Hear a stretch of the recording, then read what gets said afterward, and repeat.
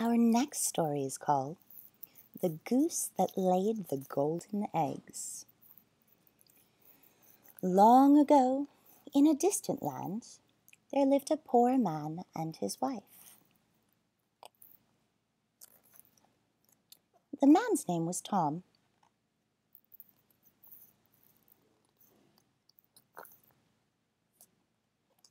And his wife was called Eleanor. They were very poor, but they had everything they needed.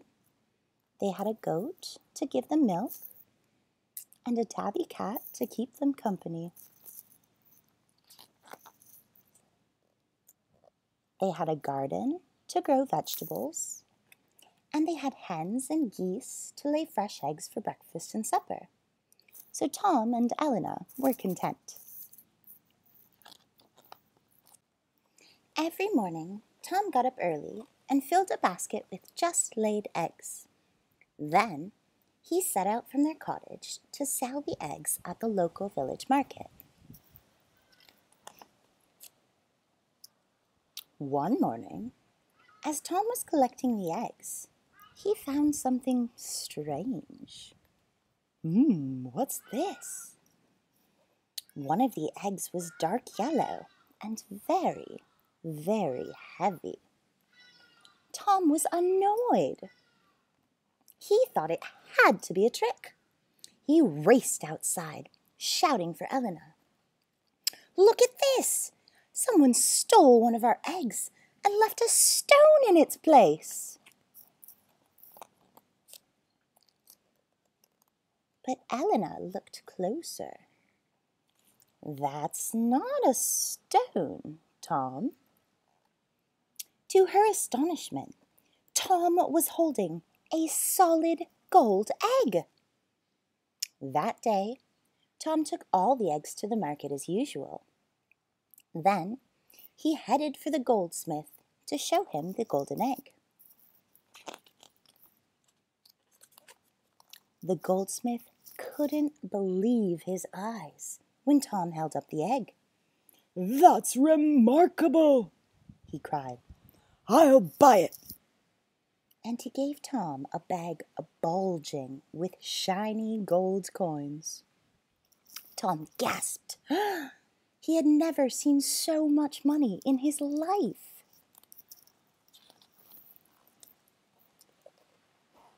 Tom went straight to the market and bought a beautiful silk dress for Eleanor. then he went home thinking about how happy she would be when he gave her the dress.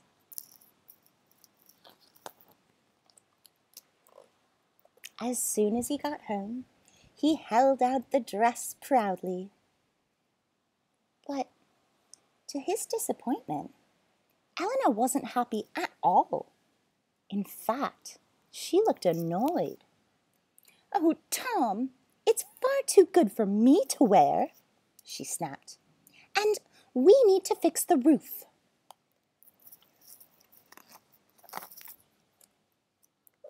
Tom felt dreadful. Eleanor was right.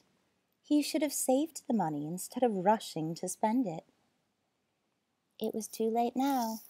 He had spent every last coin on the dress. he sighed.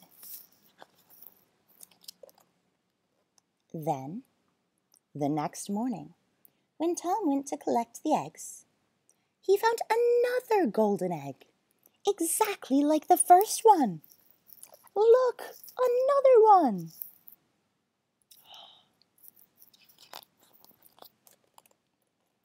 And the morning after that, he found yet another. It's the little white goose, he said happily. She must be a magic goose. Every day, Tom sold a golden egg to the goldsmith. He used the money to buy splendid new clothes for himself and Eleanor. He built a bigger, grander house with a bigger and better garden. Then he hired servants to look after the animals and tend the fruit and vegetables for him.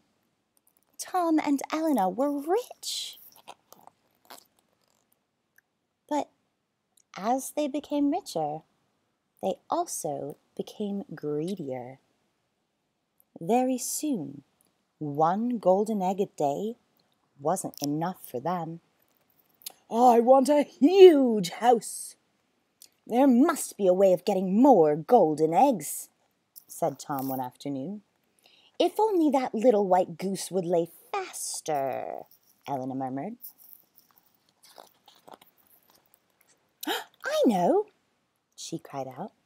Let's kill the goose. That way we can cut her open and get all the eggs at once. We'll be the richest people in the world. Squawk! So Eleanor grabbed the goose and Tom killed it. But when they opened up the goose, they found there was no gold inside at all. What have we done? wailed Eleanor. No more gold. We'll be poor again. They had been too greedy, and now they had lost everything. Tom kept on collecting eggs every morning, but he never found another golden egg as long as he lived. The end.